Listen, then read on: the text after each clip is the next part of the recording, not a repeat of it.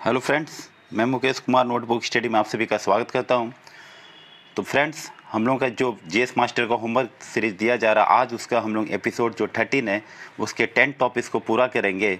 और ना सिर्फ़ पूरा करेंगे, बल्कि इस वीडियो के माध्यम से हम लोग जितने भी इम्पोर्टेंट फैक्ट हैं, उसको समझेंगे और साथ साथ उसको याद भी कर लेंगे। तो अगर आप लोग मेरे चैनल पे नए हैं तो मेरे चैनल को आप लोग सब्सक्राइब कीजिए, आप इसको लाइक कीजिए शेयर कीजिए और बेल आइकन पे जाके प्रेस कर दे ताकि मैं जो भी नया वीडियो अपलोड करूँ तो उसका नोटिफिकेशन आप लोगों को मिल जाए। इसके साथ साथ मेरे चैनल पे करंट अफेयर की सीरीज़ भी चलाई जा रही है, जिसमें मैं तीन प्रैक्टिस सेट आपके कर चुका हूँ, जो आपके एडुटेरिया बुक के हैं। काफ़ी अच्छी बुक है, परवीन कुमार द्वारा जो निकाली गई है। तो आप उसको भी देख सकते हैं प्लेलिस्ट में जाके। और एन सार संग्रह के जो मैराथन वीडियो आते हैं, मैराथन क्लास तो उसको भी मैं अपलोड कर चुका हूँ। तो ये सारे चीज़ आप जाके प्लेलिस्ट में देख लें। तो आज जो हम लोग का टेंथ टॉपिक्स है, उसको, उसमें जो फ़र्स्ट टॉपिक्स है हम लोग का, वो है आपका इंडियन पॉलिटिक्स का, जिसमें हम लोग मूल अधिकार, यानी मौलिक अधिकार जो है फंडामेंटल राइट जो हैं, उसी का विस्तार को पढ़ेंगे।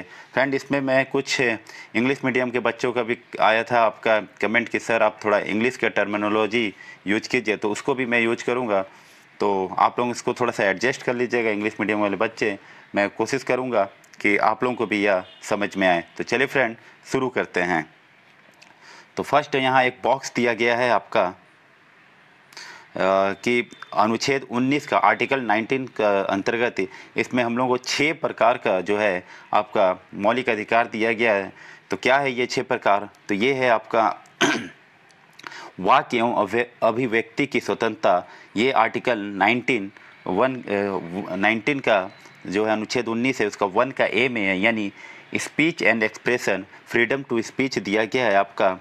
19 का ए में, उसके बाद है, आपको बोलने का अधिकार, फिर शांतिपूर्वक, यहाँ देख सकते हैं, शांतिपूर्वक हथियार रहित सम्मेलन करने का आप बोल सकते हैं। उसके बाद आप सम्मेलन कर सकते हैं। बिना हथियार के ये है अनुच्छेद 19 का एक का बी में, यानी आप अगर इसको हम लोग इंग्लिश में बोले असेंबल कर हो सकते हैं। पीसफुल विदाउट आर्म्स नेक्स्ट है। उसके बाद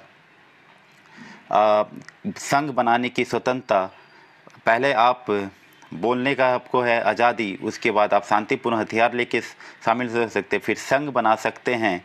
आप संगम या संघ या सहकारी समिति बनाने का आपका अधिकार दिया गया है। फिर भारत में आप कहीं भी आ जा सकते हैं तो भारत के राज्यों में संचरण करने का अधिकार है। 19 का वन का डी में दिया गया है आपका।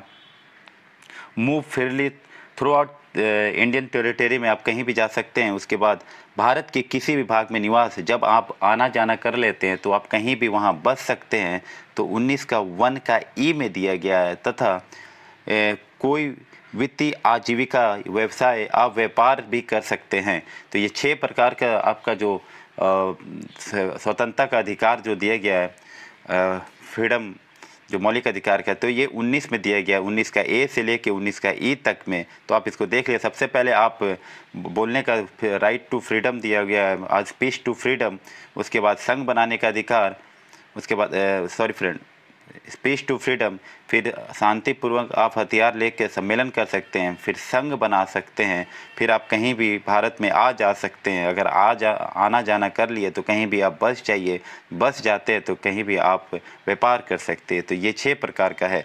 चलिए अब नेक्स्ट पॉइंट को हम लोग समझते हैं। भारतीय संविधान के किस अनुच्छेद के अंतर्गत यह प्रावधान किया गया है कि किसी अपराध के अभियुक्त को स्वयं अपने विरुद्ध गवाह बनाने के लिए बाध्य नहीं किया जा सकता है।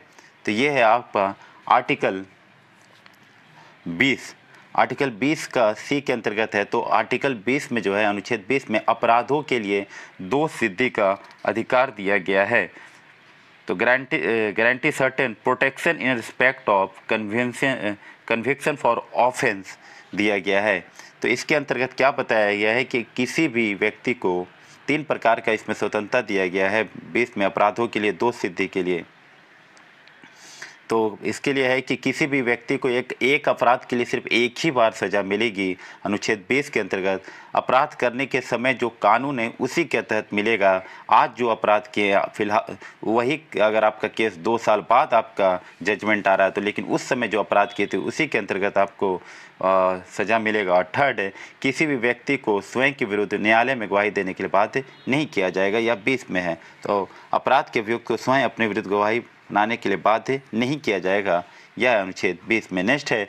संविधान की कौन सी नेक्स्ट है। संविधान का कौन सा अनुच्छेद दो सिद्धि के संबंध में अभिव्यक्ति को दोहरे दंड एवं सौ अभि, सौ अभिशा अभिशासन से संरक्षण प्रदान करता है? तो अनुच्छेद बीस, जैसे मैंने बताया आपको उसके बाद है, भारतीय संविधान का कौन सा अनुच्छेद व्यक्ति की विदेश यात्रा के अधिकार को संरक्षण प्रदान करता है? व्यक्ति के तो ये है आपका अनुच्छेद इक्कीस। ये आप ध्यान में रखिएगा, अनुच्छेद 21 है आपका प्राण एवं दैविक स्वतंत्रता का अधिकार। ये आपको ध्यान में रखना होगा। नेक्स्ट है, मौलिक अधिकार के अंतर्गत कौन सा अनुच्छेद बच्चों के शोषण के विरुद्ध प्रावधान से संबंधित है? तो बच्चन, बच्चों का जो शोषण से संबंधित जो प्रावधान है आपका, ये है आपका अनुच्छेद 168 में है दिया हुआ।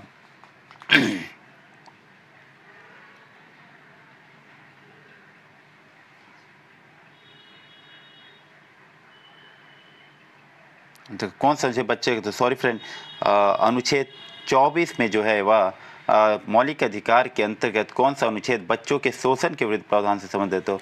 तो अनुच्छेद 24 में है। अनुच्छेद 24 जो है, इसमें बताया गया है कि बालकों का ये जो है शोषण के विरुद्ध अधिकार है आपका अनुच्छेद तेईस एवं चौबीस, जिसमें अनुच्छेद चौबीस में है कि बालक, यानी बच्चों का चौदह वर्ष से कम आयु के जो बच्चे हैं, उनको कारखाना में या खान या किसी अन्य जो जोखिम भरा जगह है डेंजर जगह है तो वहाँ आपको उनको काम करने से आप उसको नहीं नियुक्त कर सकते। ये अनुच्छेद 24 में है।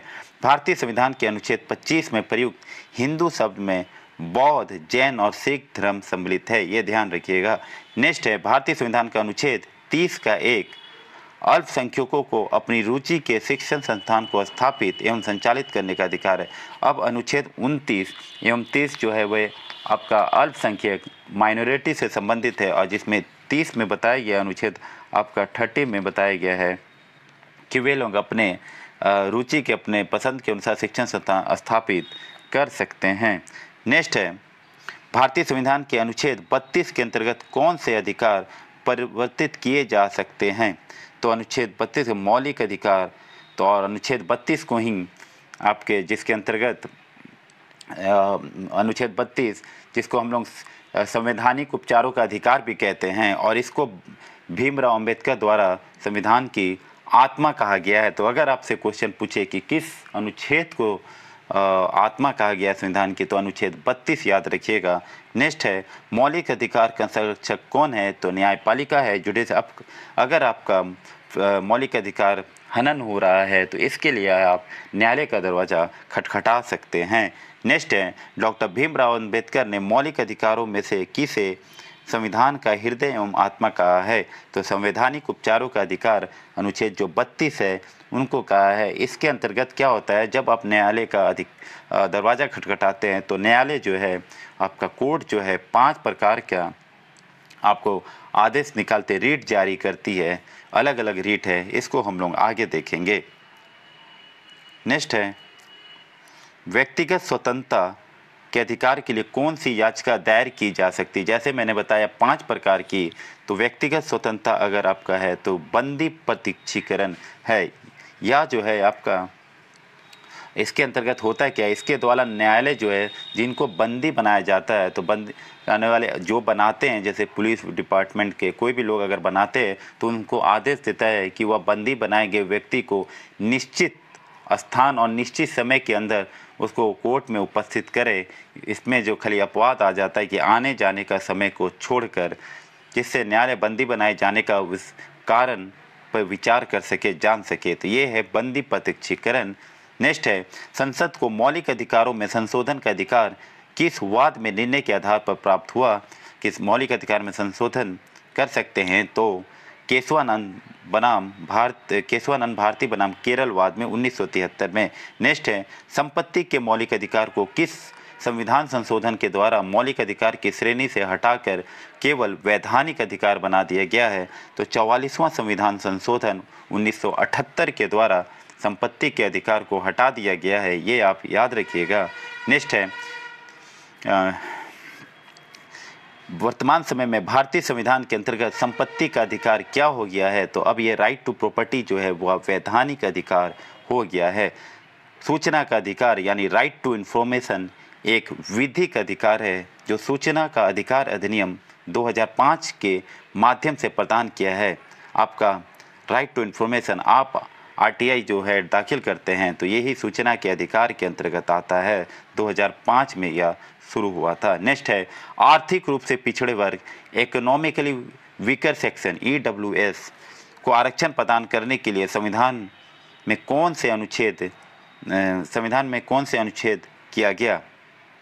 अभी हाल ही में मोदी सरकार द्वारा, मोदी जी की सरकार द्वारा आर्थिक रूप से जो पिछड़े वर्ग हैं इकोनॉमिकल वीकर सेक्शन के लोग, उनके लिए आरक्षण का प्रावधान किया गया। तो यह जो किया गया है, अनुच्छेद पंद्रह एवं सोलह, अनुच्छेद पंद्रह एवं सोलह के अंतर्गत किया गया। अनुच्छेद पंद्रह में जैसे बताया जाता है कि आपका धर्म, जाति, लिंग या जन्म के आधार पर भेदभाव नहीं किया जाएगा किसी भी क्षेत्र में।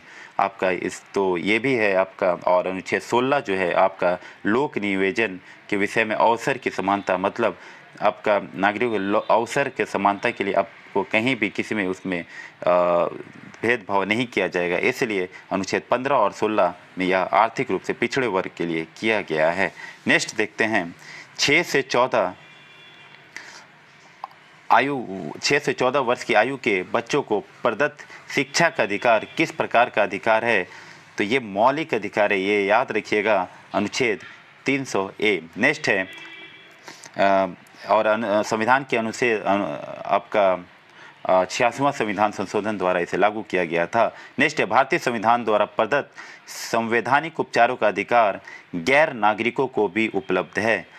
कुछ मौलिक अधिकार हैं जो गैर नागरिकों को भी उपलब्ध है। उनमें अनुच्छेद जो बत्तीस है, संवैधानिक उपचारों का अधिकार, वो भी आपका गैर नागरिक, यानी नन जो इंडियन रेसिडेंट है, उनको भी है। नेक्स्ट है, कौन सा मूल अधिकार राष्ट्रीय आपातकाल, नेशनल इमरजेंसी में भी समाप्त या सीमित नहीं किया जा सकता है? तो जब इमरजेंसी लगता है देश में राष्ट्रीय आपातकाल लगता है। अभी तक तीन बार राष्ट्रीय आपातकाल लग चुका है। एक बार आपका भारत पाकिस्तान के समय, एक बार आपका इंडिया चाइना वॉर के समय और एक बार आपके इंदिरा गांधी के सरकार द्वारा लगाया गया था। तो जब भी आपका इमरजेंसी लगता है तो सिर्फ़ व्यक्तिगत स्वतंत्रता अनुच्छेद 19 और 19 और अनुच्छेद 21 को छोड़कर बाकी सभी आपके मौलिक अधिकार समाप्त हो जाते हैं। ये याद रखिएगा तो व्यक्तिगत स्वतंत्रता और जीवन के अधिकार को छोड़कर सभी मौलिक अधिकार फंडामेंटल राइट आपके समाप्त हो जाएँगे। नेक्स्ट है, बंधुआ मजदूर उन्मूलन अधिनियम बॉन्डेड लेबर एबोल्यूशन एक्ट संसद द्वारा किस वर्ष पारित किया गया? तो वर्ष उन्नीस सौ छिहत्तर में पारित किया गया। अब यहाँ कुछ फंडामेंटल आपके राइट दिए गए हैं, मौलिक अधिकार दिए गए आइए इनको हम लोग एक चार्ट के माध्यम से देखते हैं। तो सबसे पहले है समानता का अधिकार। अनुच्छेद 14 से 18 में आपका जो है समानता का अधिकार दिया गया है। उसके बाद है स्वतंत्रता का अधिकार। अनुच्छेद 19 से 22 स्वतंत्रता का अधिकार है। शोषण के विरुद्ध अधिकार। अनुच्छेद 23 से 24 शोषण के विरुद्ध अधिकार है। और उसके धर्म की स्वतंत्रता का अधिकार अनुच्छेद 25 से 28 तथा संस्कृति और शिक्षा संबंधी अधिकार अनुच्छेद 29 से 30 आपका, और लास्ट है आपका संवैधानिक उपचारों का अधिकार अनुच्छेद 32 तो ये आपको याद रखिएगा। नेक्स्ट है, अनुच्छेद 26 के अंतर्गत सभी धर्मावलंबियों को धार्मिक संस्था की स्थापना एवं धार्मिक कार्यों के प्रबंधन का अधिकार प्राप्त है। जी हाँ फ्रेंड 25 से 28 जो आपका धार्मिक, धर्म की स्वतंत्रता का अधिकार, उसके अंतर्गत जो है आपका सभी धर्मावली जितने भी धर्म के लोग हैं, धार्मिक संस्था की स्थापना एवं कार्यों का प्रबंध का अधिकार कर सकते हैं, अनुच्छेद 26 में। अब हम लोग आ जाते हैं जोग्राफी में, जिसमें आज हम लोग बायोडाइवर्सिटी जैव विविधता को पढ़ेंगे और इस जैव विविधता पर आपका इन्वायरमेंट एंड इकोलॉजी पे मैं एक मास्टर वीडियो बना चुका हूँ। तो अगर आप लोग नहीं देखे हैं तो मैं डिस्क्रिप्शन में उसका लिंक दे दिया हूँ। आप वहाँ से जाके इसको देख सकते हैं। तो भारत में ये राष्ट्रीय उद्यान यानी नेशनल पार्क कहाँ कहाँ है, इसको एक चार्ट के माध्यम से बताया गया है। आइए हम लोग उत्तर से दक्षिण की ओर चलते हुए इसको देख लेते हैं। और इसमें जो इम्पोर्टेंट होंगे, उन्हीं को मैं समझाऊँगा। जैसे हिमाचल प्रदेश में शुरुआत करते हैं लद्दाख से तो लद्दाख में जो आता है क्वेश्चन वह हेमिस, आपका नेशनल पार्क, भारत का राष्ट्रीय उद्यान हेमिस है। जम्मू कश्मीर में आप देखिए तो दाची गाँव सबसे फ़ेमस है क्वेश्चन आता है, इसके साथ सिटी फॉरेस्ट सलीम अली जिसको बोलते हैं, और किश्तवाड़, आपका राष्ट्रीय पार्क। उसके बाद हरियाणा हम लोग उत्तर से इस तरफ़ पश्चिम से होते हुए चलेंगे। उसके बाद आपके आ जाता है आपका हिमाचल प्रदेश। हिमाचल प्रदेश में जो है आपका वृद्ध हिमालय खीर गंगा पिन घाटी और सिम्बाल बारा है। नेक्स्ट है हरियाणा। हरियाणा में हम देखते हैं, आपका दो हैं, कालेश्वर और सुल्तानपुर हरियाणा में है। नेक्स्ट है राजस्थान। राजस्थान में काफ़ी कुछ पूछा जाता है आपका, खासकर केवला दे राजस्थान में है रंथम बोर सीरीज़ का, ये तीन हमेशा क्वेश्चन पूछा जाते हैं और केवला दे जो है वह आपका भरतपुर जिला में है। उसके साथ मुकुंदरा और मरुस्थलीय। नेक्स्ट है, अगर आप गुजरात के क्षेत्र में आते हैं तो आपका गिर और मेरिन राष्ट्रीय पार्क गुजरात में है, जस ब्लैकबक और बसंदा भी है। गोवा में एक है महावीर मोलम ये क्वेश्चन पूछा जाता है महावीर राष्ट्रीय उद्यान कहाँ है? तो गोवा, कर्नाटक में आपका दो तीन पूछे जाते हैं, जिसमें आपका सबसे फ़ेमस है बांदीपुर, कुदरेमुख, ये दो काफ़ी फ़ेमस है। उसके साथ साथ राजीव गांधी जिसे नागरहोल राष्ट्रीय पार्क भी कहते हैं, ये भी इम्पोर्टेंट है। और आपका कुदरेमुख, चलिए बन्ने घट्टा भी है। नेक्स्ट है, केरल में आ जाते हैं तो केरल में आपके छः राष्ट्रीय पार्क हैं। ये है आपका अन्नाई मुदी इराविकुलम मथिकतल सोला, पराम्बिकुलम, पेरियार पेरियार इंपॉर्टेंट आते हैं और साइलेंट वेरी सांद घाटी। उसके बाद तमिलनाडु के क्षेत्र में आते हैं हम लोग। तमिलनाडु में जो है आपका मुद्दूमलई, ये इंपॉर्टेंट है। इंदिरा गांधी कहाँ है राष्ट्रीय पार्क? तथा भिंडी, मन्नार, मेरिन और मुकुरुती राष्ट्रीय पार्क। आंध्र प्रदेश में आप ध्यान रखिएगा। तो राजीव गांधी रामेश्वरम में जो आपका स्थित है आंध्र प्रदेश में वहाँ है। ऊपर की ओर चलते हैं। तो तेलंगाना तेलंगाना में आपका महावीर हरियाणा हरियाणा हरियाणा वंशली, ये याद रखिएगा, महावीर एक है आपका गोवा में, लेकिन अगर हरीना वंश वंशस्थली पूछेगा तो ये आपका तेलंगाना में है। तथा केशु ब्रह्मानंद रेड्डी, छत्तीसगढ़ में ये इंपॉर्टेंट आते हैं कि इंद्रावती कहाँ है तो छत्तीसगढ़ में और गुरु घासीदास, यह भी आपका छत्तीसगढ़ में है। उड़ीसा बात कर लेते हैं। उड़ीसा की तो भीतरकनिका और सिमलीपाल काफ़ी फ़ेमस है आपके राष्ट्रीय उद्यान नेशनल पार्क। झारखंड में एक है वह है आपका बेतला जो पलामू में है। ये आपको ध्यान में रखना होगा बिहार में वाल्मीकि राष्ट्रीय उद्यान है। इसके साथ साथ अगर हम लोग ईस्टर्न साइड में जाएँ तो ईस्टर्न पूर्वी भारत में आपका पश्चिम बंगाल में आ, अगर जाते हैं तो पश्चिम बंगाल में आपका जो इम्पोर्टेंट है बुक्सा आपका सुंदरवन और सिंगली लीला, ये तीन बहुत ही फ़ेमस है। उसके साथ साथ गुरुमारा नेवरा वैली जल्दपारा अंडो, अंडोमान निकोबार में आपके जो है इम्पोर्टेंट हैं, वे हैं आपका कैंप बेल, उत्तरी बटन द्वीप सेडल पीक, साउथ बटन द्वीप ये काफ़ी इम्पोर्टेंट आपके राष्ट्रीय पार्क है तथा महात्मा गांधी। पश्चिम बंगाल से हम लोग अगर ईस्टर्न साइड में जा रहे हैं तो त्रिपुरा में आपका बिसोन, क्लाइडेड तथा मिजोरम में आपका आ जाइए। तो फवंगपुई, नीला पर्वत, मुरलेन, मणिपुर में काइबुल लामजावा, ये काफ़ी इंपॉर्टेंट है फ्रेंड काइबुल लामजावा कहाँ है? तो ये पूछा जाता है मणिपुर में। नागालैंड में इट्टाकी आपका फिर ऊपर चलते हैं हम लोग। तो असम में है आपका यहाँ। असम का हमेशा आता है आपका। मानस और काजीरंगा इंपॉर्टेंट है। मानस और काजीरंगा नेशनल पार्क कहाँ है? तो असम में है। इसके बाद डिब्रू सेखवा भी अरुणाचल प्रदेश में नाम दफ़ा आता है। आपका नाम दफ़ा कहाँ है? तो अरुणाचल प्रदेश में मेघालय में आपका नोकरेक नोकरेक इंपॉर्टेंट है। मेघालय में नोकरेक है। तथा तो बाल प्रकम है। सिक्किम में आपका कंचनजंगा सिक्किम में है। तो यहाँ इम्पोर्टेंट है। उसके बाद उत्तराखंड में हम लोग देखते हैं तो आपका राजा जी नंदा देवी ये दो काफ़ी इंपॉर्टेंट है था जिम कार्बेट 1936 में जिसकी स्थापना हुई थी, भारत का पहला नेशनल पार्क था। तो ये बहुत ही इम्पोर्टेंट बन जाता है, फूलों की घाटी।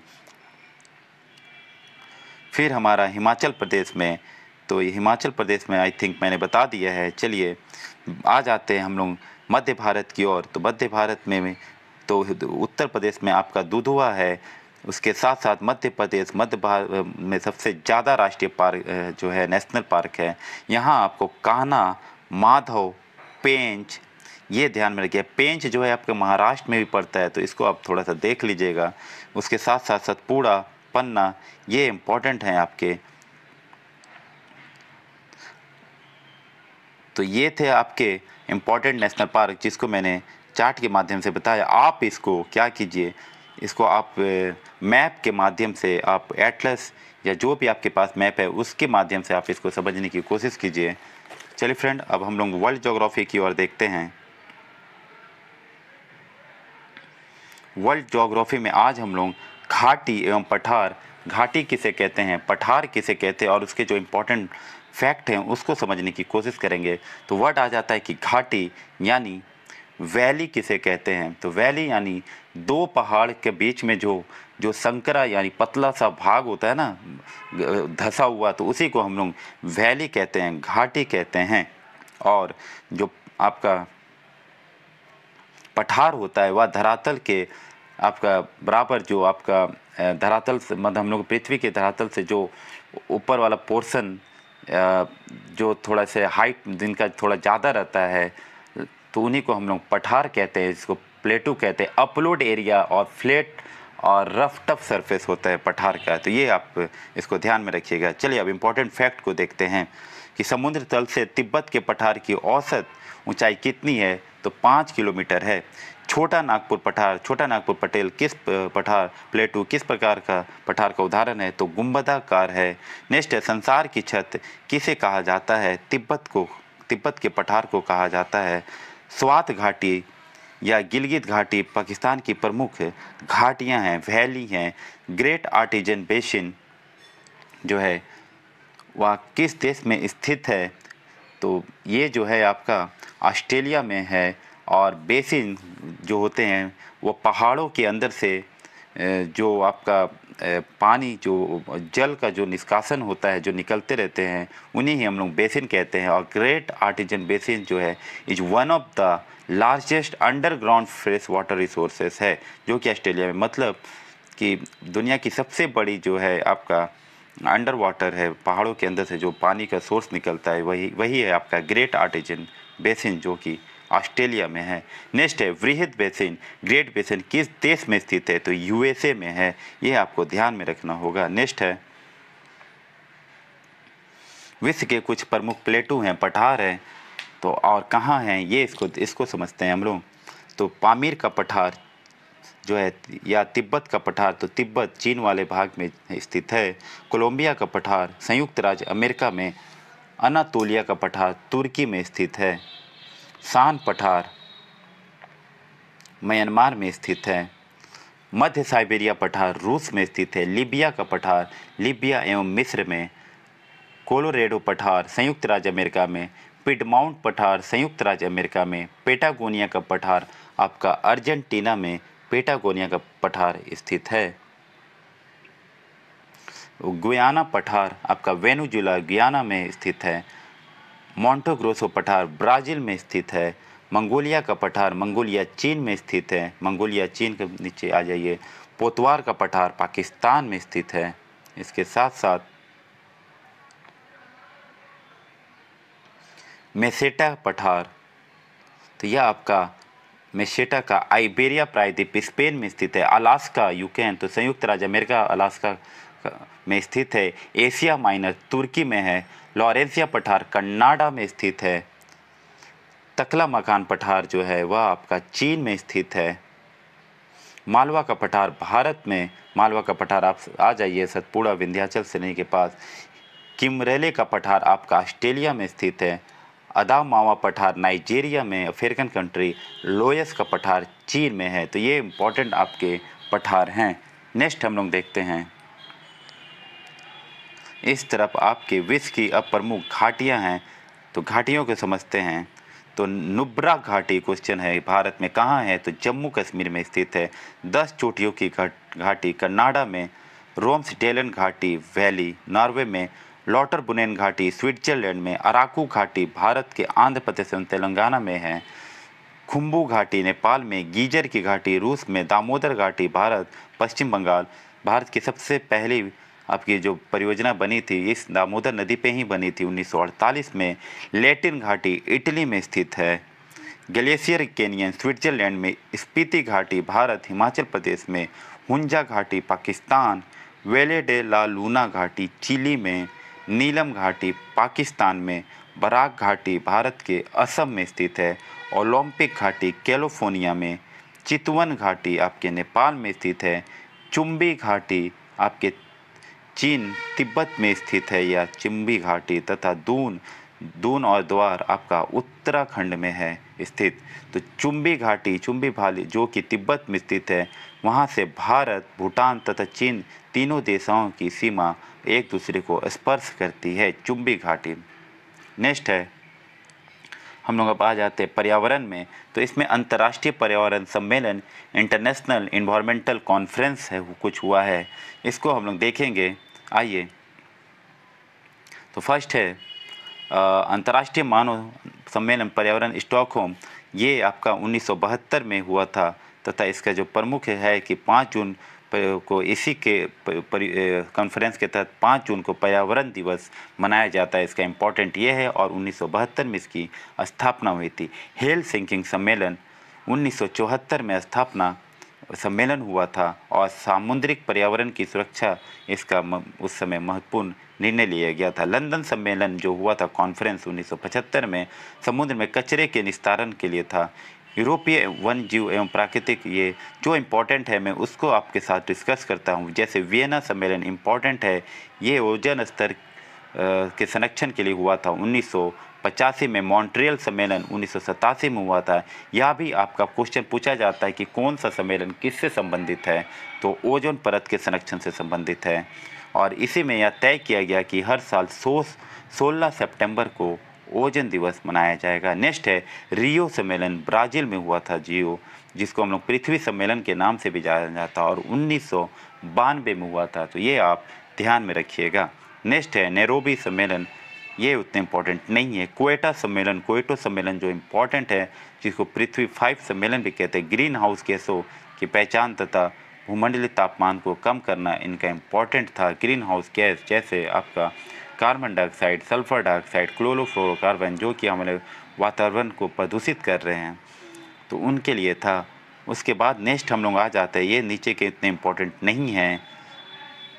कोपेन हेगन सम्मेलन। कोपेन हेगन सम्मेलन जो है, ये कम कार्बन अर्थव्यवस्था की परिकल्पना करना था और 2009 में हुआ था। कानकुन सम्मेलन भी इम्पोर्टेंट है। हरित जलवायु कोष ग्रीन क्लाइमेट फंड स्थापित करने का, इसी में निर्णय किया गया था। तो हरित जलवायु कोष आपका कानकुन सम्मेलन का है। उसके साथ साथ आपका हाल ही में जो हुआ है, आपका कोप ट्वेंटी फाइव सम्मेलन जो स्पेन मेड्रिड में जो ये करंट अफेयर के क्वेश्चन बन जाते हैं 2019 में जो हुआ है, जलवायु प्रयत्न से जूझ रहे थे उसे की मदद के लिए है। तो ये इम्पोर्टेंट सम्मेलन है, जिसको आपको ध्यान में रखना होगा और इसको आप दो से तीन बार चार्ट के माध्यम से ज़रूर देखिए। नेक्स्ट आ जाते हैं हम लोग, फिजिक्स। फिजिक्स में हम लोग आज जो है, आपका इलेक्ट्रिक करंट को पढ़ेंगे। विद्युत धारा क्या होती है इलेक्ट्रिक करंट, इसको हम लोग जानने की कोशिश करेंगे। तो आइए समझते हैं। तो हेलोजन लैंप का तंतु किस मिश्र धातु से निर्मित होता है? हेलोजन लैंप का तंतु यानी फाइबर मिश्र धातु यानी एलॉय तो किससे बना होता है हेलोजन का? तो ये टंगस्टन तथा सोडियम से बना होता है। नेक्स्ट है, एक किलोवाट का मान कितना होता है? Three point six into ten के पावर में सिक्स जूल होता है। जलते हुए विद्युत बल्ब के तंतु का तापमान कितने होता है? इलेक्ट्रिक जो बल्ब है, तंतु, उसके फाइबर का मान, तंतु का तापमान 2000 से 2500 डिग्री सेंटीग्रेड होता है। बिजली के बल्ब की तुलना में फ्लोरेसेंट ट्यूब विद्युत ऊर्जा का प्रकाश ऊर्जा में अधिक मात्रा में परिवर्तन करता है। फ्लोरेसेंट ट्यूब जो होता है, वह इलेक्ट्रिकल एनर्जी को का आपका लाइट एनर्जी में अधिक मात्रा में परिवर्तन करता है। इसलिए बिजली के बल्ब की तुलना में फ्लोरेसेंट ट्यूब का अधिक उपयोग किया जाता है। ये ध्यान में रखिएगा। नेक्स्ट है फ्यूज में प्रयुक्त होने वाले तार की क्या विशेषता होती है? तो यह फ्यूज में जो तार होता है, वह उच्च प्रतिरोधक और निम्न गलनांक, यानी हाई रेजिस्टेंस होता है इसका, बहुत ज़्यादा, और निम्न गलनांक, इसका लो मेल्टिंग पॉइंट होता है। लो क्योंकि अगर गलेंगे नहीं तो आपके घर में जब ज़्यादा वोल्टेज आएँगे तो आपका जितना भी आपका फ्रिज वॉशिंग मशीन टीवी ये सब जल जाएगा, जितने भी उपकरण हैं। इसलिए गलनांक फ्यूज का तार का लो होता है और रेजिस्टेंस हाई होता है। ये याद रखिएगा, प्रतिरोध उच्च होता है। नेक्स्ट है, विद्युत बल्ब की तंतु किस धातु से निर्मित होती है? किस मेटल से होती है? तो टंगस्टन से होती है।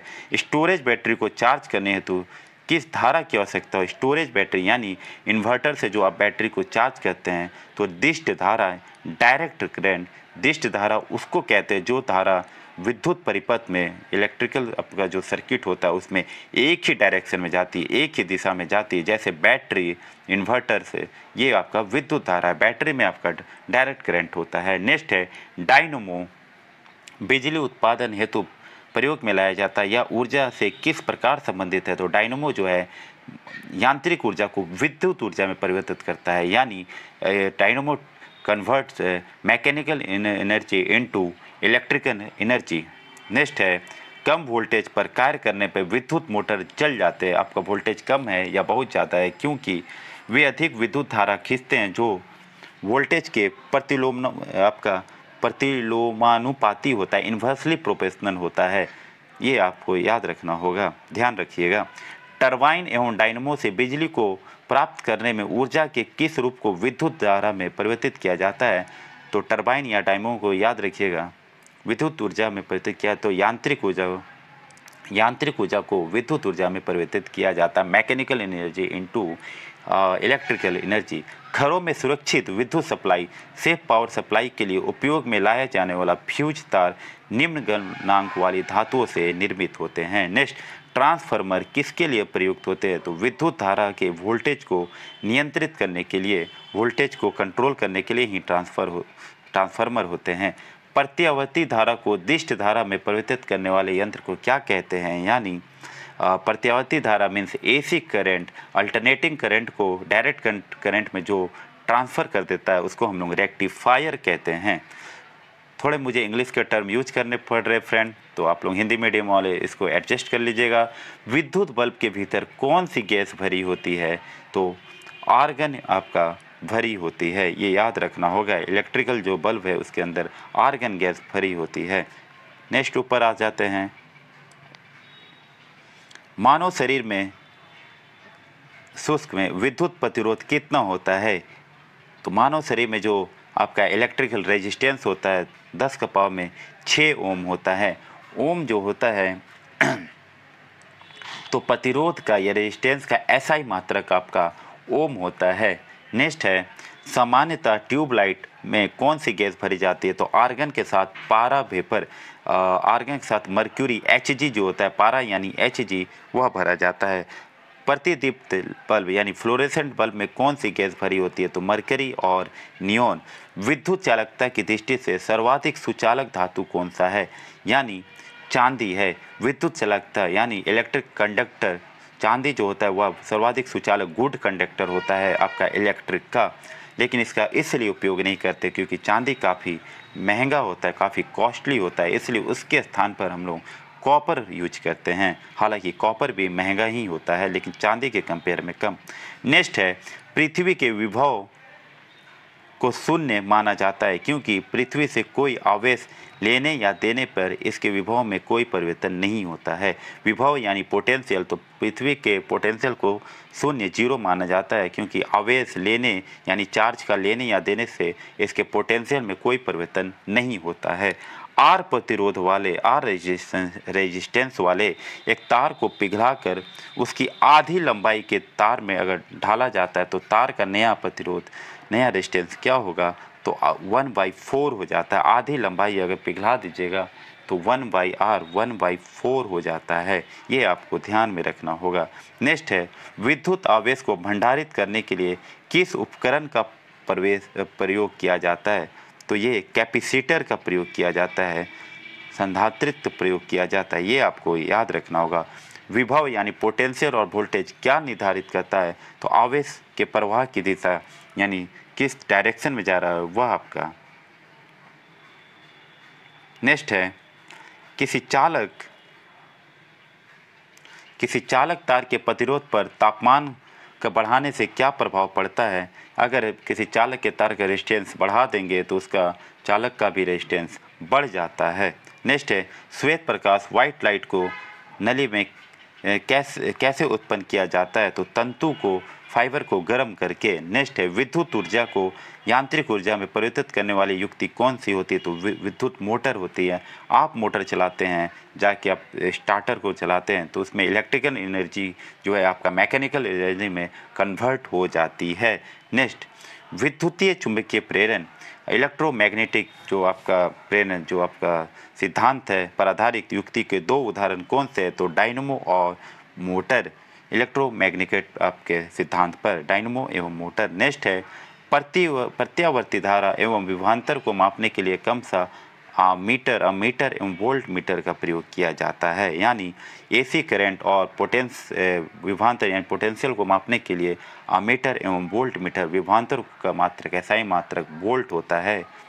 और धारा का एम्पियर ये याद आपको रखना होगा। प्रत्यावर्त धारा का विद्युत धारा का मात्रक एम्पियर और इसको मापा जो जाता है मीटर से और विभांतर को जो मापा जाता है वोल्ट मीटर से और धारा का आपका एम्पियर होता है विभांतर का मात्रक वोल्ट होता है। नेक्स्ट अति चालक यानी सुपर कंडक्टर का प्रतिरोध कितना होता है रेजिस्टेंस तो लगभग ज़ीरो होता है। अब बात कर रहे थे अति चालक क्या होता है तो ऐसा पदार्थ या ऐसा सब्सटेंसेस या मेटल धातु, जिनमें एक निश्चित तापमान पर प्रतिरोध रेजिस्टेंस को बहुत कमान जो है, बहुत तेज़ी से घटते हुए शून्य हो जाता है, उनको शून्य किया जाता है। तो जब उसका प्रतिरोध ज़ीरो हो जाता है, शून्य हो जाता है तो देखते हैं कि वो किस टेम्परेचर पे ज़ीरो हुआ। तो जिस टेम्परेचर पे ज़ीरो होता है, वही अति चालकता कहलाती है, यानी उनके टेम्परेचर को ज़ीरो कर देना ही आपका अति चालक सुपर कंडक्टर कहता है, जनरली होता क्या है, ज़ीरो डिग्री कैलविन पर प्रतिरोध शून्य हो जाता है। ये आप ध्यान में रखिएगा और ज़ीरो डिग्री को आप कन्वर्ट कर सकते हैं डिग्री सेंटीग्रेड पे। नेक्स्ट है तड़ित चालक लाइटिंग कंडक्टर बनाने के लिए किस धातु का प्रयोग किया जाता है? तो तड़ित चालक जो आपके बिल्डिंग बड़े बड़े बिल्डिंग के ऊपर लगाए जाते हैं तो कॉपर के बने होते हैं, तांबा के। विद्युत धारा में, नेक्स्ट है, विद्युत धारा में समान आवेश समान आवेश एक दूसरे को प्रतिकर्षित करते हैं। प्लस प्लस जो होते हैं, वे एक दूसरे को हटाते हैं और जो प्लस माइनस हैं, वे एक दूसरे को आकर्षित करते हैं। आप अपने डेली लाइफ में भी इसको देख सकते हैं। नेक्स्ट है, अब हम लोग केमिस्ट्री के आते हैं। रासायनिक अभिक्रिया एवं गैसियस जो समीकरण है, chemical reaction and gases law जो है, इसको देखते हैं। तो रासायनिक अभिक्रिया जल का भाप में बदलना किस प्रकार का? अब रासायनिक अभिक्रिया में आपके कुछ भौतिक परिवर्तन होते हैं और रासायनिक परिवर्तन होते हैं। भौतिक परिवर्तन वे होते हैं जिनको आप पुनः स्थापित कर सकते हैं रासायनिक परिवर्तन में नहीं कर सकते हैं। आइए समझते हैं। तो जल का भाप में बदलना किस प्रकार का परिवर्तन है? आ, तो भाप में यानी भेपर में वाटर का भेपर में बदलना जो है वह भौतिक परिवर्तन है। फ़िज़िकल चेंजेस है। ये आप ध्यान में रखिएगा। नेक्स्ट है, ठोस से वाष्प बनने की प्रक्रिया को क्या कहते हैं? ठोस से डायरेक्ट वाष्प या गैस बनने की प्रक्रिया को ऊर्ध्वपातन या सब्लिमेशन कहते हैं। ऐसे पदार्थ, ऐसे जो डायरेक्ट ठोस से गैस में चेंजेस हो जाते हैं, उन्हें सब्लिमेशन कहते हैं। जैसे आपका, आप घर में कपूर की गोली होते हैं, आप रखे रहते हैं, देखिए उड़ जाते हैं।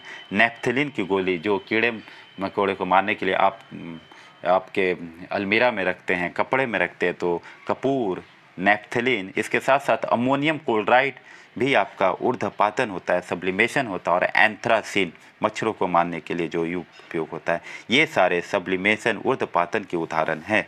नेक्स्ट है, अधिक ऊंचाई वाले स्थानों पर पानी 100 डिग्री सेल्सियस के नीचे के तापमान पर उबलता है, क्योंकि वायुमंडलीय दाब कम हो जाता है, इस कारण जल का क्वाथनांक बिंदु घट जाता है। जी हाँ फ्रेंड आपको पता है कि पानी जो है 100 डिग्री सेंटीग्रेड पर बॉयल होने लगता है, उबलने लगता है।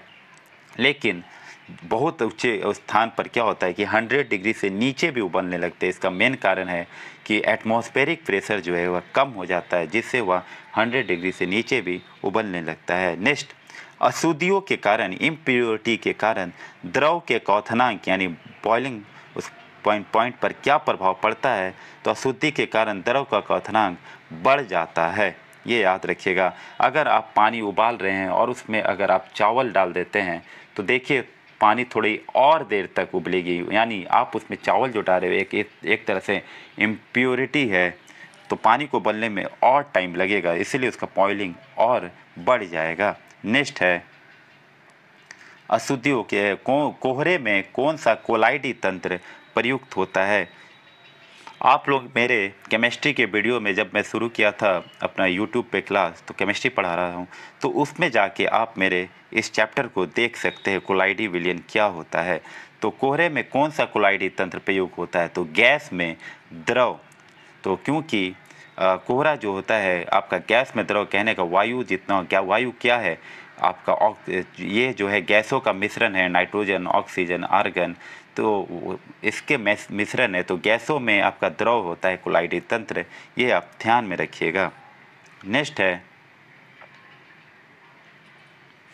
शक्कर के घोल का तापमान बढ़ाने से शक्कर की विलेयता पर क्या प्रभाव पड़ेगा? यानी सोलिबिलिटी पे तो विलेयता बढ़ जाएगी। नमक मिश्रित कपूर को किस प्रकार शुद्ध किया जा सकता है? ऊर्ध्वपातन सब्लिमेशन द्वारा जल अपघटन में ऊर्जा किस रूप में उत्पन्न हो उत्पन्न होती? उष्मा के रूप में आपका हीट के रूप में जल अपघटन, यानी वाटर का इलेक्ट्रोलाइसिस पानी में चीनी का घुलना किसका उदाहरण है? तो भौतिक परिवर्तन फ़िज़िकल चेंजेस का उदाहरण है। नेक्स्ट है, किसी मिश्रण से ठोस विलय को पृथक करने की विधि क्रिस्टिकलरन क्रिस्टलीकरण कहलाती है। मिश्रण को अलग करने की अलग अलग विधि है। तो जो ठोस मिश्रण से ठोस को अलग करने का या क्रिस्टलाइजेशन कहते हैं। नेक्स्ट है, पायस किस प्रकार का कोलाइड होता है? द्रव में लिक्विड में लिक्विड होता है पायस। आयोडीन और पोटासियम क्लोराइड के मिश्रण को किस प्रकार पृथक किया जाता है? तो ऊर्ध्वपातन द्वारा किया जाता है। नेक्स्ट, बॉयल्स का नियम किस स्थिति में लागू होता है? बॉयल्स लॉ जो होता है, या जब टेम्परेचर कांस्टेंट रहता है, तब आपका बॉयल्स का नियम जो है लागू होता है। और बॉयल्स का लॉ कहता है कि किसी गैस का दाब एवं आयतन जो है वह आपके टेम्प, जब बॉयल्स का लॉ जो है, गैस का दाब एवं आयतन से संबंधित होता है। इसके अनुसार, बॉयल्स के अनुसार, नियत ताप पर, यानी कांस्टेंट टेम्परेचर पर गैस का आयतन दाब के वत, वेत कर्मानुपात यानी, होता है, यानी इन्वर्सली प्रोपोर्शनल होता है। यानी pressure is inversely, volume is inversely proportional to pressure. आयतन जो होता है, वह दाब के वेत वेद कर्मानुपाती होता है। ये ध्यान रखिएगा, जब टेम्परेचर कांस्टेंट रहता है, तब। तो बॉयल यानी आपका बॉयलिंग यानी उबलना तो यहाँ ताप को हम लोग कांस्टेंट रखेंगे। नेक्स्ट है, समान ताप एवं दाब पर गैसों के समान आयतन में अणुओं की संख्या समान होती है यह नियम किस वैज्ञानिक ने प्रतिपादित किया था तो एवो गैड्रो द्वारा किया गया था। नेक्स्ट है आदर्श गैसों की ऊर्जा उनकी किस स्थिति पर आधारित है? तापमान पर।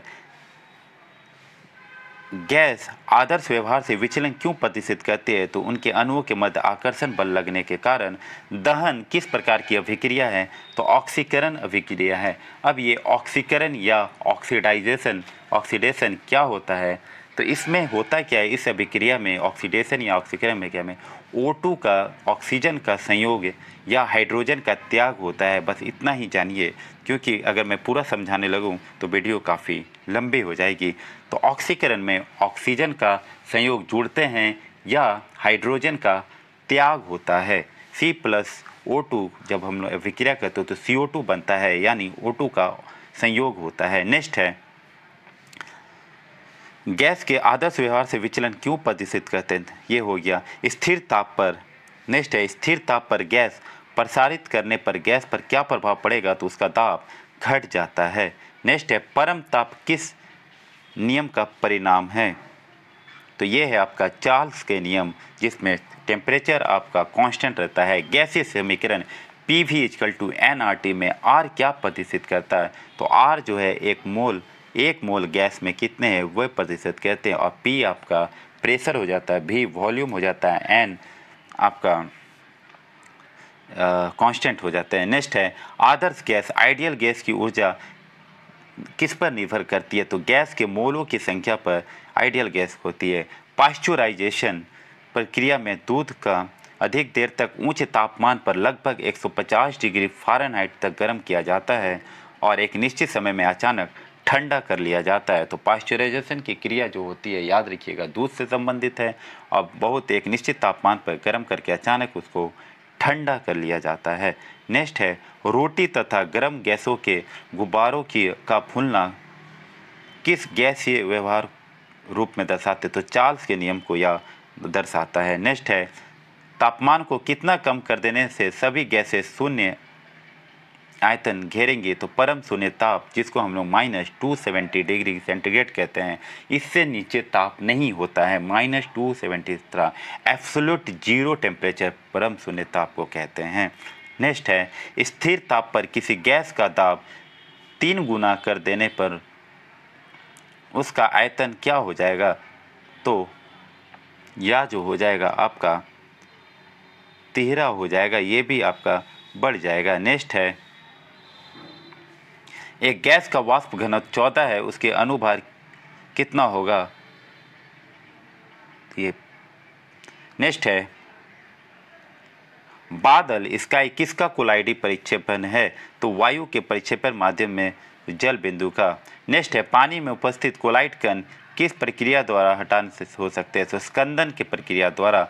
स्कंदन यानी कोगुलेशन के द्वारा होता है। पानी में उपस्थित कोलाइट कण यानी किसी को, को कोगुलेशन जो होता है, किसी भी कोलाइडी विलयन का अवक्षेप में परिवर्तित होना ही अवक्षेप उसको स्कंदन कहते हैं। नेक्स्ट है, सामान्य ताप एवं दाब एन से क्या अभी आशय है? एनटीपी यानी सामान्य यानी थर temperature and pressure normal temperature and pressure क्या है इसका मतलब? आइए देखते हैं। तो ज़ीरो डिग्री सेंटीग्रेड या दो सौ तिहत्तर केल्विन ताप को सामान्य ताप और 760 मिलीमीटर दाब को सामान्य दाब कहा जाता है।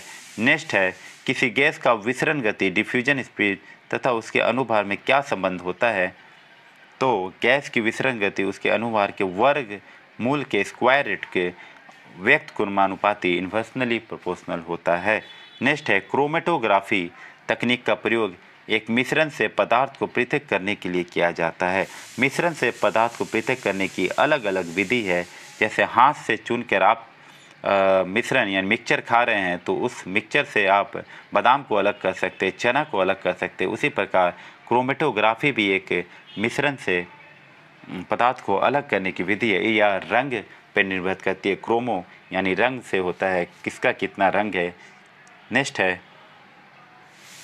अब हम लोग बायोलॉजी में आज हम लोग पाचन तंत्र डाइजेस्टिव सिस्टम को पढ़ेंगे कि पाचन तंत्र में कौन कौन से डाइजेस्टिव सिस्टम हैं जो हमारे भोजन को पचाते हैं। आइए देखते हैं। तो लार किसके पाचन में सहायक होता है? तो स्टार्च के पाचन में नेक्स्ट है, वसा का पाचन करने वाले, वसा का पाचन करने वाले लाइपेज नामक एंजाइम किस अंग द्वारा स्रावित होता है? तो यकृत लीवर द्वारा लाइपेज द्वारा वसा के जलीय अपघटन, इलेक्ट्रोलाइसिस, वाटर का, के पश्चात क्या प्राप्त होता है? वसीय अम्ल और ग्लिसरॉल। कौन सा पाचक हार्मोन छोटी आंत स्मॉल इंटेस्टाइन से स्रावित होता है? तो हार्मोन सिक्रेटिन जो होता है, सिक्रेटिन, ये छोटी आंत से स्रावित होता है, यानी निकलता है। नेक्स्ट है, पीत का संचयन कहाँ होता है? पीत, यानी बाइल का संचयन कहाँ स्टोर होता है? तो गोल्ड ब्लाडर में पीत का संचयन होता है। नेक्स्ट है। पीत यानी बाइल का निर्माण यकृत में होता है। याद रखिएगा, स्टोर आपके पिता से गोल ब्लाइडर में होता है और पीत का निर्माण यकृत में होता है। और यह बस, वसा को वसीय अम्ल यानी फैटी एसिड में तोड़कर पाचन में सहायता करता है। किस अंग में प्रोटीन्स का पाचन पूर्ण होता है? तो आंत में ही इंटेस्टाइन में ही प्रोटीन का पाचन होता है। अमाशय की भित्ति से कौन सा हार्मोन स्रावित होता है? तो गैस्ट्रिन जो होता है, आपका होता है। और अमाशय में एस नामक एसिड होता है। नेक्स्ट है, लार का टाइलिन एंजाइम किस माध्यम में क्रियाशील होता है? तो हल्के अम्ल माध्यम में लार होता है। नेक्स्ट है अमाशय यानी स्टोमच की दीवार का पेशीय संकुचन यानी मस्कुलर कॉन्ट्रैक्शन क्या कहलाता है? कर्माकुंचन कहलाता है। नेक्स्ट है, पाचन तंत्र के किस रस में कोलेस्ट्रॉल पाया जाता है? कोलेस्ट्रॉल पाचन तंत्र के किस भाग में? तो पीत में यानी बाइल में पाया जाता है।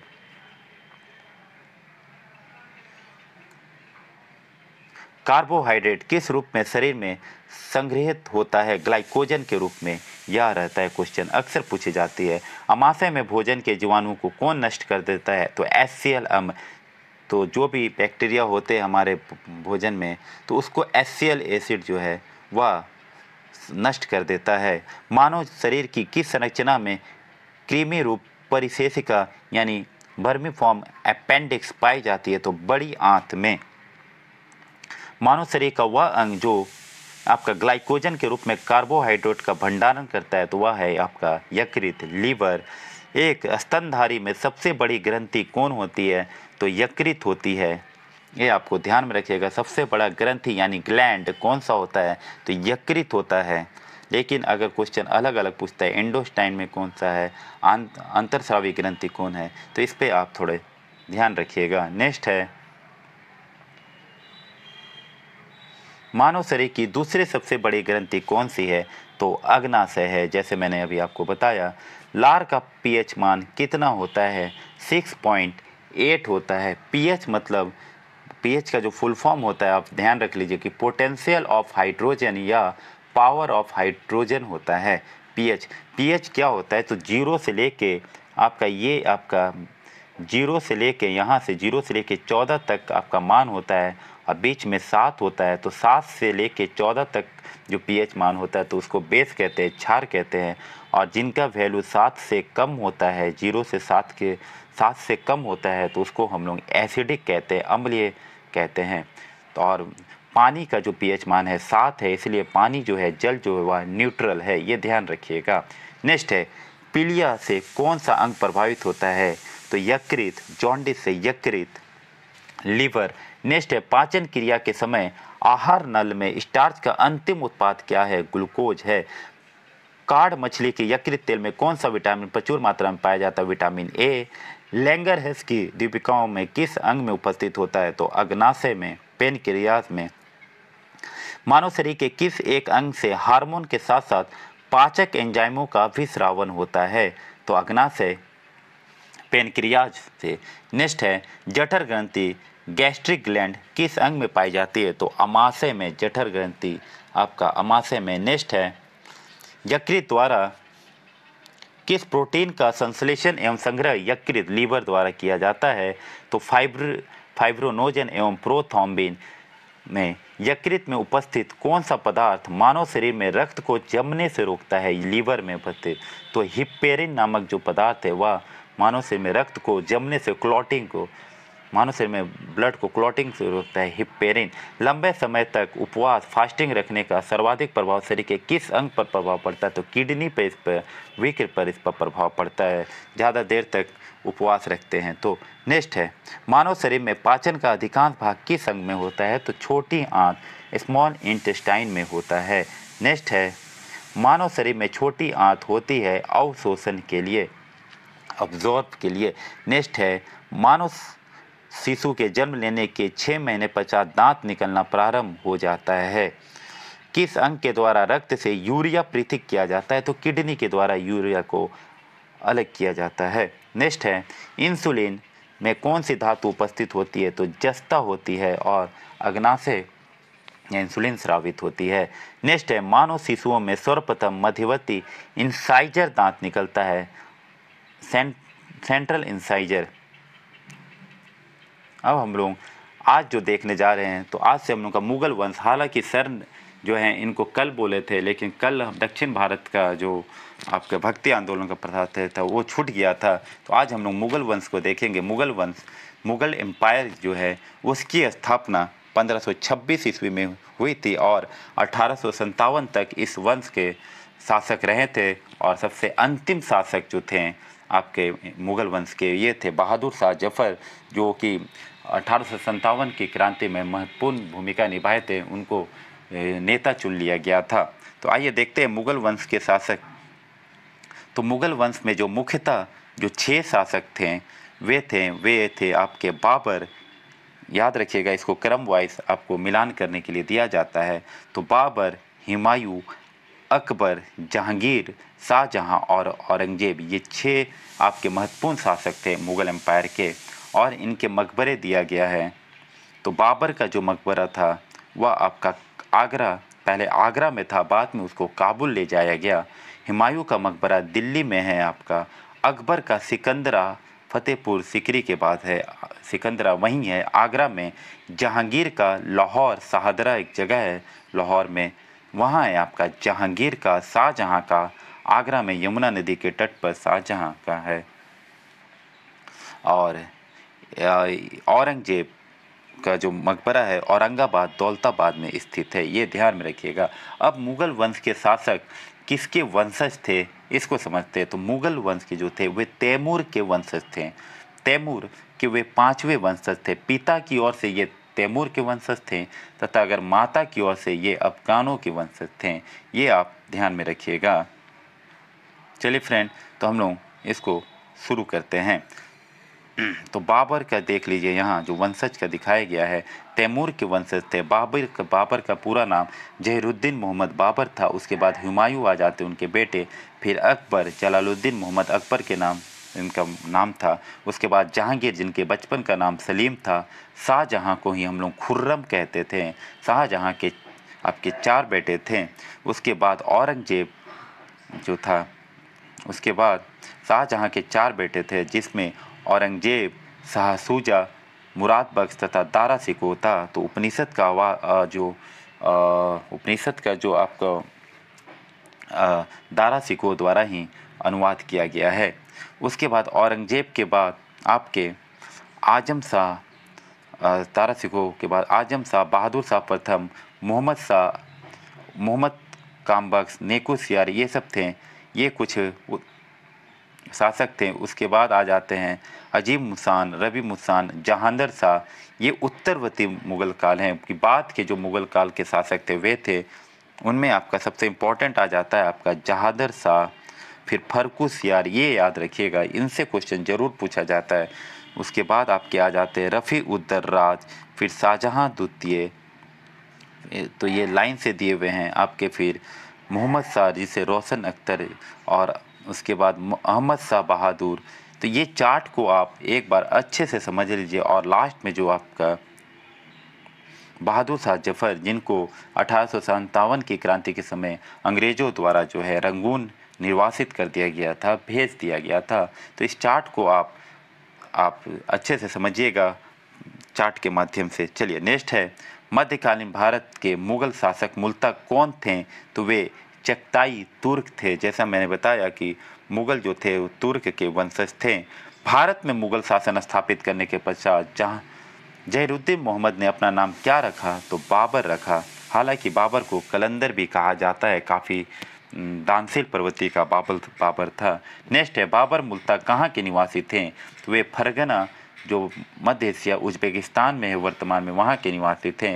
बाबर अपने पिता के पक्ष से तैमूर का वंशज था, जबकि माता के पक्ष से चंगेज खां, मंगोलों का था। सॉरी फ्रेंड थोड़ा मैं सॉरी फ्रेंड कह, कहना चाहता हूँ क्योंकि मैंने कह दिया था कि माता की ओर से ये अफगान नहीं ये मंगोल शासक थे चंगेज खां के। आप इसको करेक्ट कर लीजिएगा। नेक्स्ट है खानवा युद्ध से दिल्ली आगरा क्षेत्र में बाबर की स्थिति सुदृढ़ हो गई। तत्पश्चात उसने मेदरी राय पर आक्रमण किया। बाबर द्वारा चार लड़ाई लड़ा गया था। उसमें खानवा का जो युद्ध हुआ था बाबर का आपका 1527 में राणा सांगा और बाबर के बीच तो यहाँ से बाबर की स्थिति और मज़बूत हो जाती है।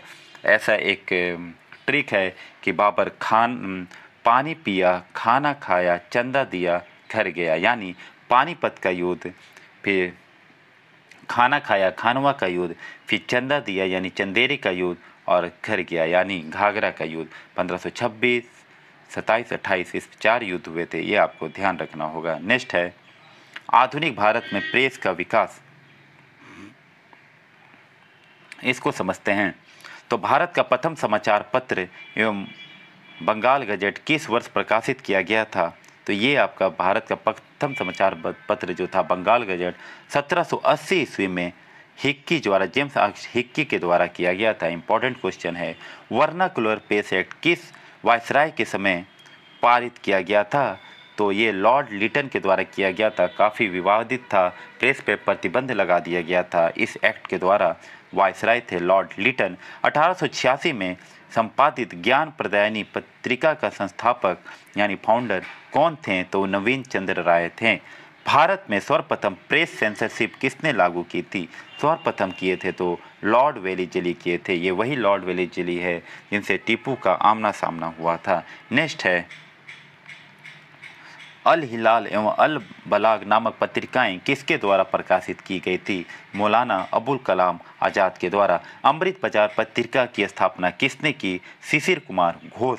रामचंद्र चटर्जी द्वारा बंगाली भाषा में संपादित मॉडर्न रिव्यू पत्रिका कहाँ से प्रकाशित होती है?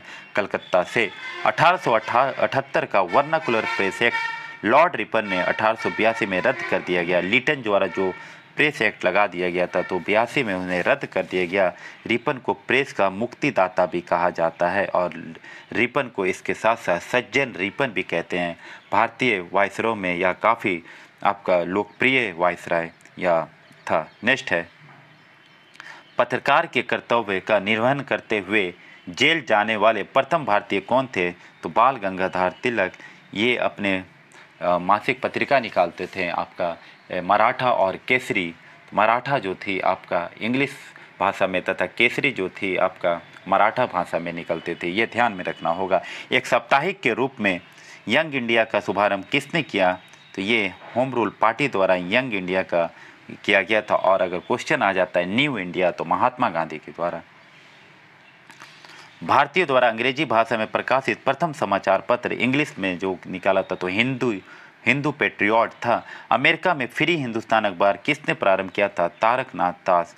कानपुर से प्रकाशित प्रताप समाचार पत्र के माध्यम से विजय सिंह पथिक ने बिजोलिया आंदोलन को पूरे भारत में चर्चा का विषय बना दिया। तो जो प्रताप समाचार पत्र था, जो कानपुर से प्रकाशित होता था, विजय सिंह इसके संस्थापक थे। ने बिजोलिया आंदोलन को पूरे भारत में चर्चा का विषय बना दिए थे। नेक्स्ट है, फारसी साप्ताहिक मिरातुल अखबार किसके द्वारा लिखी गई है? तो ये आपका प्रकाशित होती थी, राजा राम मोहन राय भारतीय, आधुनिक भारत के अग्रदूत माने जाते हैं ये। नेक्स्ट है, रॉबर्ट नाइट ने कलकत्ता से वर्ष 1878 ईस्वी में अंग्रेज़ी भाषा की किस पत्रिका का संपादन किया था? तो स्टेट्समैन अभी भी आती है ये पत्रिका। नेक्स्ट है वर्ष 1861 में इंडियन मिरर नामक अखबार अखबार का प्रकाशन कहाँ से होता था? कलकत्ता से होता था। कलकत्ता उस समय केंद्र था आपका। नेक्स्ट है, बहिष्कृत भारत पत्रिका किससे संबंधित थी? तो भीमराव अंबेडकर थे। नेक्स्ट है, हरिजन पत्रिका का प्रारंभकर्ता कौन थे? तो महात्मा गांधी थे। आप ये दोनों में कंफ्यूज मत कीजिएगा। बच्चे यहाँ अक्सर कंफ्यूज कर जाते हैं। तो हरिजन जो हैं आपका महात्मा गांधी और बहिष्कृत भारत, आपका भीमराव अंबेडकर, लिटन द्वारा वर्नाकुलर प्रेस एक्ट पारित कर किस वर्ष भारतीय समाचार पत्र पर प्रतिबंध लगा दिया गया तो अठारह नेक्स्ट है 1920 में लाहौर से लाला राजपत राय द्वारा उर्दू में वंदे मातरम समाचार पत्र प्रारंभ किया गया था। उर्दू में वंदे मातरम। नेक्स्ट है, सोम प्रकाश नामक समाचार पत्र की शुरुआत किसने की थी? ईश्वर चंद्र विद्यासागर। लीडर अखबार किस कार्य के लिए प्रसिद्ध था? उदारवादियों की नीति का प्रचार, उग्रवादी और उदारवादी जो दो थे आपके कांग्रेस में इनमें हमेशा टकराव की स्थिति बनी रहती थी। नेक्स्ट है, अंग्रेज़ी साप्ताहिक पत्र वंदे मातरम के साथ किसका संबंध है? अरविंद घोष का संबंध है। नेक्स्ट है, किस पत्रिका ने वर्नाकुलर प्रेस एक्ट अठारह सौ अठहत्तर का समर्थन किया था? तो पॉइनियर जो थे पॉइनियर समाचार पत्र ने समर्थन किया था। नील आंदोलन का समर्थन करने वाली पत्रिका हिंदू पेट्रियट के संपादक हरिश्चंद्र मुखर्जी थे। स्वदेश वाहिनी नामक पत्रिका के संपादक कौन थे? के. रामकृष्ण पिल्ले थे। अंग्रेज़ी समाचार पत्र इंडिपेंडेंट किसके द्वारा प्रारंभ किया था? तो मोतीलाल नेहरू द्वारा इंडिपेंडेंट का संपादन किया था। नेक्स्ट है, मराठी भाषा की पत्रिका केसरी के संपादक कौन थे? तो बाल गंगाधर तिलक थे ये आपको ध्यान में रखना होगा। जैसे मैंने बताया कि केसरी और मरा मराठी आपका केसरी और मराठा दो जो आपकी पत्रिका थे वे बाल गंगाधर तिलक द्वारा निकाला जाता था। इंडियन नेशनल अखबार का प्रकाशन कहाँ से होता था? तो पटना से होता था। ये आपके लिए इम्पोर्टेंट फैक्ट हो जाते हैं। कांग्रेस के प्रथम अधिवेशन के समाप्त होने के एक सप्ताह बाद कलकत्ता के सम, एक सप्ताह बाद कलकत्ता के समाचार पत्र द इंडियन मिरर ने लिखा बम्बई में आयोजित प्रथम राष्ट्रीय कांग्रेस, भारत में ब्रिटिश शासन के इतिहास में एक महत्वपूर्ण अध्याय जोड़ती है। नेक्स्ट, नीचे के पॉइंट की अंग्रेज़ी समाचार पत्र, लीडर का संपादन, लीडर का संपादन मदन मोहन मालवीय ने अभुद, अभुदय पत्रिका के के पश्चात किया था। तो याद रखिएगा, लीडर का संपादन मदन मोहन मालवीय द्वारा अब लास्ट हम लोग के आज के आ जाते हैं इकोनॉमिक्स भारतीय अर्थव्यवस्था में। तो आज का जो टॉपिक है, वह कर संरचना टैक्स का कैसा स्ट्रक्चर होता है, इसको हम लोग देखेंगे। जैसे अलग अलग टैक्स होते हैं, जैसे इन इनकम टैक्स आयकर कॉरपोरेट टैक्स आपका गुड टैक्स सर्विस टैक्स तो अलग अलग कौन इसको लगाता है, किनके द्वारा इसको संग्रहण किया जाता है तो इसको हम लोग समझते हैं। तो नागरिकों को विभिन्न प्रकार की सेवाएँ एवं सुविधा प्रदान करने के बदले सरकार द्वारा नागरिकों से जो शुल्क लिया जाता है, उसे हम लोग कर, यानी टैक्स कहते हैं। हम लोग को जो सरकार सुविधा दे रहे हैं, और तो उसके बदले में हम लोग से टैक्स लेते हैं। भारत में आयकर सर्वप्रथम कब लगाया गया? तो 24 जुलाई 1860 को इनकम टैक्स लगाया गया था। इसलिए भारत में प्रत्येक वर्ष 24 जुलाई को आयकर दिवस इनकम टैक्स डे मनाया जाता है 24 जुलाई को। नेक्स्ट है, भारत सरकार। भारत सरकार के आय के तीन सबसे बड़े स्रोत। भारत सरकार के आय का जो सबसे बड़ा तीन स्रोत है, वह है वस्तु एवं सेवा कर गुड्स एंड सर्विस टैक्स निगम कर आपका कॉरपोरेट टैक्स तथा आयकर इनकम टैक्स है तो इसको आप याद रखिएगा क्रम वाइज सबसे ज़्यादा वस्तु एवं सेवा कर द्वारा तेईस परसेंट आपका आ, उसके बाद निगम कर द्वारा उन्नीस परसेंट आपका आ, उनके आय का स्रोत है तथा आयकर द्वारा सोलह परसेंट है। नेक्स्ट है सरकारी व्यय को नियंत्रित करने वाला मंत्रालय कौन सा है? तो वित्त मंत्रालय फाइनेंस मिनिस्टर नेक्स्ट है, कृषि आयकर। सबसे पहले कहाँ और कब लगाया गया था? तो बिहार में लगाया गया था यह 1938 ईस्वी में। कृषि आयकर एग्रीकल्चर पर जो टैक्स लगाया गया था, इनकम टैक्स, शराब पर उत्पाद कर एक्साइज ड्यूटी उत्पाद कर, जो उत्पादन पर जो लगाया जाता है टैक्स, उसी को एक्साइज ड्यूटी कहते हैं। किसके द्वारा लगाया जाता है? तो राज्य के सरकार द्वारा लगाया जाता है। इसलिए आप देख लीजिए, अभी हाल ही में आपका दिल्ली में जब लॉकडाउन के बाद शराब की दुकानें खुली तो 50 परसेंट तक उस पर उसके दाम में बढ़ोतरी कर दी गई, लेकिन लोग लेने वाले पीछे नहीं थे। चलिए नेक्स्ट संशोधित मूल्य वर्धित कर का संबंध किससे है? तो उत्पाद कर से है रिवाइज वैल्यू एडेड टैक्स उत्पाद कर से है। किसी कर के लगाए जाने के पश्चात इसका वास्तविक भुगतान जिस बिंदु पर होता है, क्या कहलाता है? तो इम्पैक्ट ऑफ़ टैक्स कराघात कहलाता है। नेक्स्ट है, भारत में सबसे पहले मूल्य वर्धित कर वैल्यू एडेड टैक्स लागू करने वाला राज्य कौन सा है? हरियाणा। नेक्स्ट है, भारत सरकार के बजट में न्यूनतम वैकल्पिक कर मैट का समावेश कब किया गया था? उन्नीस सौ छियानवे में किया गया था। सरकार ने आर्थिक विकास, निवेश तथा रोज़गार सृजन को बढ़ावा देने के उद्देश्य से सितंबर 2019 में कंपनियों के लिए निगम कर की आधार 30 परसेंट, तीस परसेंट से घटाकर 22 परसेंट कर दिया है। इसके अतिरिक्त इन कंपनियों को न्यूनतम वैकल्पिक कर मेट में भी छूट दे दी गई है। यानी रोज़गार सृजन, रोज़गार बढ़ाने के लिए क्या किया गया है?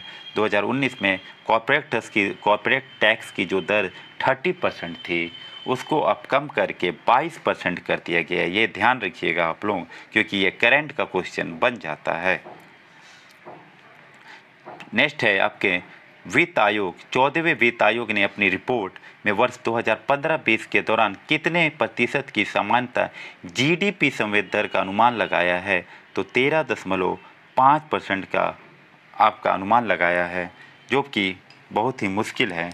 और बात कर लेते हैं वित्त आयोग की तो संविधान के अनुच्छेद 280 में वित्त आयोग का प्रावधान है और वित्त आयोग की नियुक्ति आपकी राष्ट्रपति के द्वारा की जाती है। इस तरफ़ के पॉइंट को हम लोग देखते हैं। वित्त आयोग किस प्रकार की संस्था है? तो अर्ध न्यायिक संस्था है। नेक्स्ट है, कृषि जोत कर का सुझाव किस समिति ने कब दिया था? तो के एन राजा समिति ने उन्नीस सौ बहत्तर में दिए थे। पेमेंट ऑफ़ ग्रेचुएटी एक्ट उन्नीस सौ बहत्तर के अनुसार ग्रेचुटी भुगतान का अधिकतम सीमा कितना होता है? तो 10 लाख तक आप कोई भी कंपनी या राज्य सरकारी द्वारा ग्रेचुटी दी जाती है। एक फैक्ट्री एक्ट उन्नीस सौ अड़तालीस में इसका वर्णन किया गया है।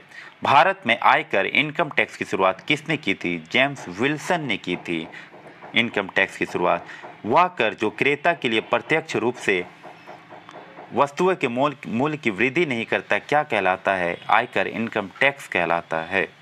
निगम कर, यानी कॉरपोरेट टैक्स किस पर लगाया जाता है? तो घरेलू एवं विदेशी दोनों कंपनियों पर कंपनियों पर लगाया जाता है। या आपके घरेलू हो या विदेशी कंपनी हो।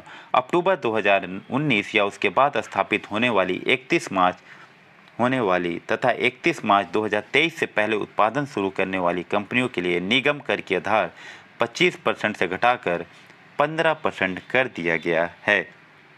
नेक्स्ट है, आयात एवं निर्यात पर लगाए जाने वाले कर को किस नाम से जानते हैं? तो सीमा कर, कस्टम ड्यूटी लगाया जाता है, जो आपका सीमा पर लगाया जाता है। नेक्स्ट है, आयकर अधिनियम की धारा अट्ठासी 88 के अंतर्गत कर छूटों को समाप्त करने की अनुशंसा किस समिति ने की थी? केलकर समिति द्वारा किया गया था कि इसको छूट जो है कर में इसको समाप्त कर दिया जाए। काफ़ी ये सही नहीं होता।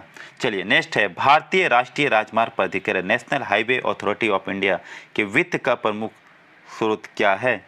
तो इसका प्रमुख स्रोत जो है, वह है आपका उपकर, एक चेस लगा दिया जाता है। क्या होता है? ये नीचे दी, लिखा हुआ किसी विशेष उद्देश्य की पूर्ति के लिए कर आधार पर लगाया गया अन्य कर मतलब जितना आपका टैक्स ले रहे उस पर भी और किसी विशेष उद्देश्य की पूर्ति के लिए तो उसको ही हम लोग चेस कहते हैं। मतलब और टैक्स आप पर लाद दिया जाता है। नेक्स्ट है, सेवा कर, सर्विस टैक्स, बिक्री कर, उत्पादन शुल्क तथा सीमा शुल्क, कस्टम ड्यूटी किस कर के अंतर्गत आते हैं? तो ये सारे इनडायरेक्ट टैक्स आते हैं। अप्रत्यक्ष कर डायरेक्ट टैक्स और इनडायरेक्ट टैक्स को आप अच्छे से समझिएगा। नेक्स्ट है, जैसे इनकम टैक्स आपके डायरेक्ट आप पे लगाया जा रहा है तो वह डायरेक्ट टैक्स है। प्रत्यक्ष कर है।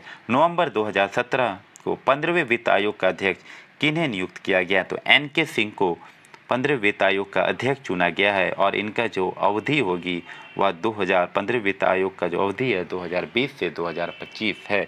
ये याद रखिएगा। व्यक्तिगत रूप से तथा समाज के लिए हानिकारक वस्तुओं एवं सेवाओं पर लगाया जाने वाला कर क्या कहलाता है? सीन कर जो समाज के लिए हानिकारक है कुछ ऐसा तो उस पर सीन कर लगाया जाता है। स्टाम्प शुल्क स्टाम्प ड्यूटी का आरोपण स्टाम्प जो है केंद्र से, केंद्र सरकार करती है तथा संग्रह एवं विनियोजन राज्य सरकार करती है। ये आप याद रखिएगा, स्टाम्प ड्यूटी केंद्र सरकार द्वारा लगाया जाता है, लेकिन उस पर संग्रहण उसको कलेक्शन और विनियोजन राज्य सरकार करती है। नेक्स्ट है, जब आय में वृद्धि होने के साथ उस पर लगने वाले करों की वृद्धि में भी वृद्धि हो तो उसे प्रगतिशील कर प्रणाली कहती है। आय में वृद्धि होने के साथ उस पर लगने वाले कर की दर में भी वृद्धि हो तो उसे प्रगतिशील प्रणाली कहते हैं। तो दोस्तों, ये थे आज के दस इंपॉर्टेंट टॉपिक जिसको मैं पूरा कोशिश किया हूँ कि आपको इंग्लिश और हिंदी बाई लैंग्वेज में समझाऊँ।